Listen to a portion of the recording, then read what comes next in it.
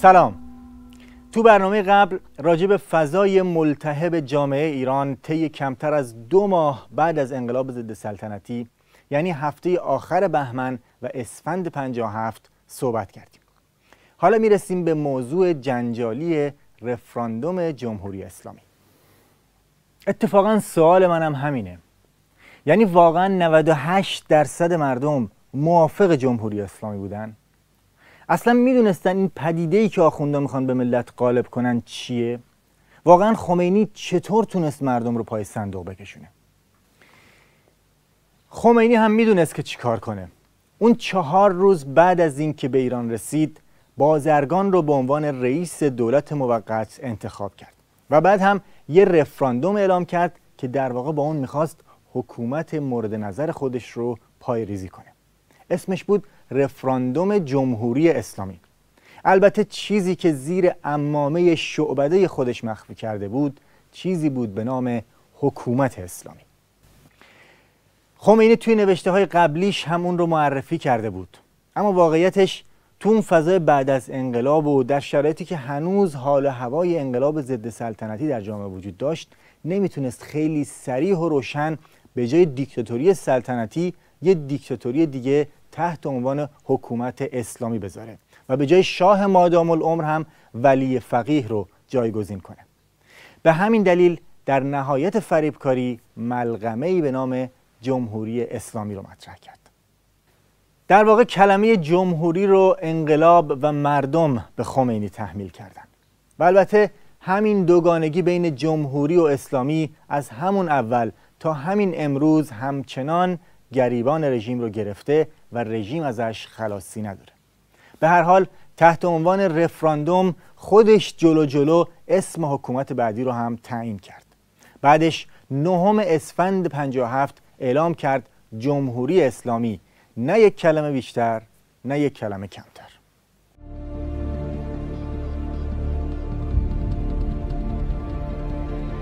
اسلام را از کنار جمهوری کنار بگذارند اینها خائنانی هستند که در ملت می‌خواهند اختلاف ایجاد کنند.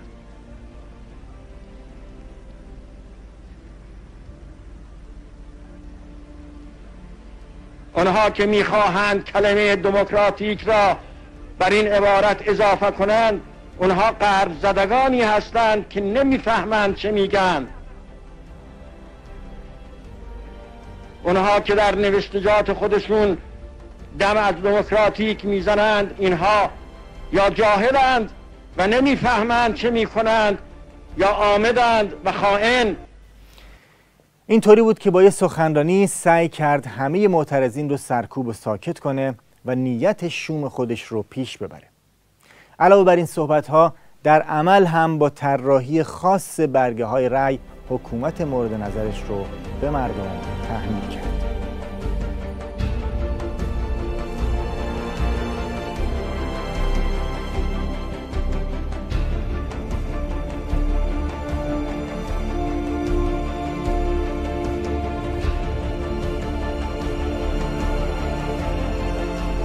نهم فروردین 1358 برگه رأی منتشر شد.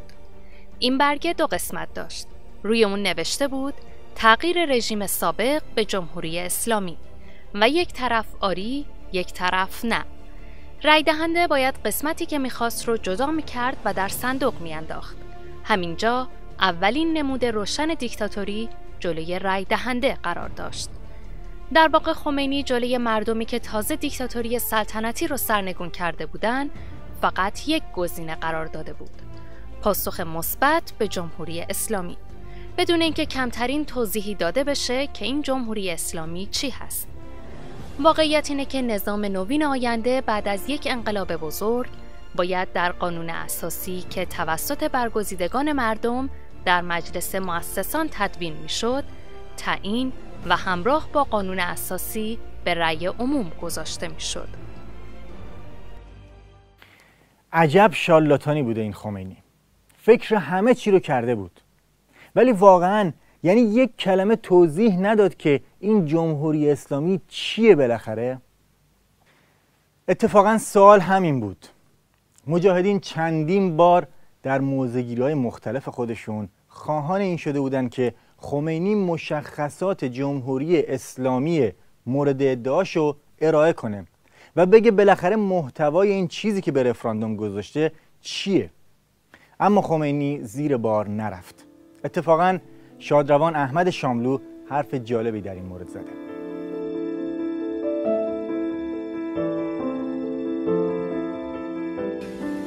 اواخر سال 57 من هی داد می‌زدم که آقای آخوند تو میگی بیا به چیز رأی بده به جمهوری اسلامی. تو رادیو ها رو گرفتی تلویزیون گرفتی روزنامه ها رو گرفتی.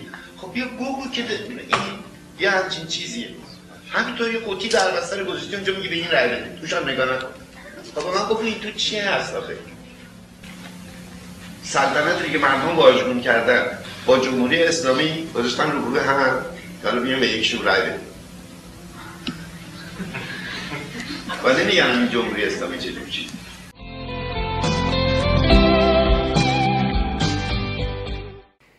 وقتی مجاهدین دیدن که خمینی صداش در نمیاد و چیزی ارائه نمی‌کنه خودشون در 27 اسفند 57 یه اطلاعیه مفصل دادن و توضیح دادن که بهتر بود اولش محتوای جمهوری اسلامی مشخص می‌شد بعد به رأی مردم گذاشته می‌شد. اما چون این کار انجام نشد مجاهدین حداقل انتظاراتشون رو از حکومتی که قرار مردم بهش رأی بدن اعلام کردن. یعنی گفتن ما شرکت می‌کنیم و به چنین تعریفی از جمهوری اسلامی رأی میدیم که این حداقل ها رو داشته باشه. اصلی ترین این خواست ها اینها بودن. اعمال حق کامل حاکمیت ملی بر جمعی منابع ملی و به ویژه نفت و باطل شدن همه قراردادهای ننگین استعماری در این رابطه. بنیانگذاری ارتش مردمی. تضمین آزادی کامل مطبوعات، احزاب و اجتماعات سیاسی با هر عقیده و مرام. تأمین کامل حقوق سیاسی و اجتماعی زنان. رفع ستم مضاعف از همه تنوعات قومی و ملی وطنمان در کلیه استانهای کشور و تأمین حقوق و آزادیهای فرهنگی و سیاسی برای آنها در چارچوب یک پارچگی تجزیه ناپذیر کل کشور. استقلال کامل دانشگاه ها و مدارس. لغو کلیه مقررات ضد کارگری و تدوین قانون جدید کار با نظر خود کارگران. قطع هر گونه تحمیل دولتی و شهرداری ها به بازاریان و اصناف و کمک به احیای بازار و صنایع ملی. تامین کامل معیشت، مسکن و تحصیلات کارمندان جزء دولتی و دوایر خصوصی و خانواده آنها به خصوص آموزگاران و دبیران.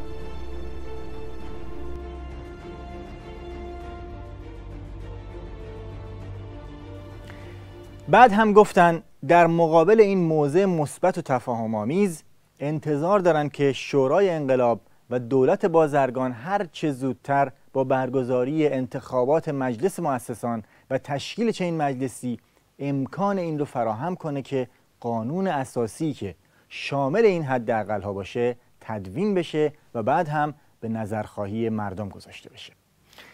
در نهایت به خاطر همین فشارها و جو اعتراضی که حول این رفراندوم بود خمینی قبول کرد که زیر برگه های رأی بنویسه جمهوری اسلامی که قانون اساسی آن از تصویب ملت خواهد گذاشت مجاهدین هم قبول کردند که با این تبصره که قانون اساسی این جمهوری بعدا تعیین میشه بهش رأی بدن.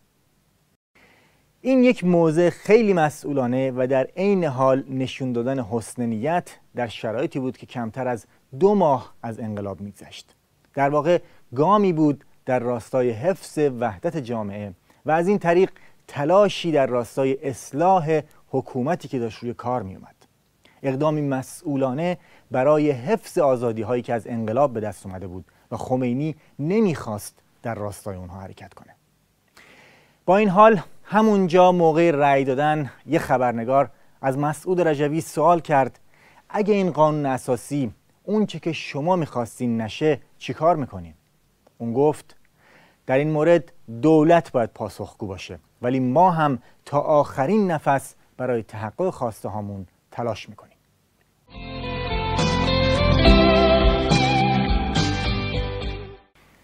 ببینم این قانون اساسی که داری ازش میگی بعد تصویب میشه مگه همون قانون اساسی نیستش که توش ولی فقیه رو وارد کردن؟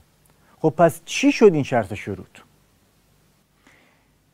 چرا اتفاقا؟ همون قانون اساسیه. ولی اینکه خمینی چطور اصل ولی فقیه رو وارد اون کرد خودش داستانیه که اگه صبر کنی هفته بعد راجبش مفصل صحبت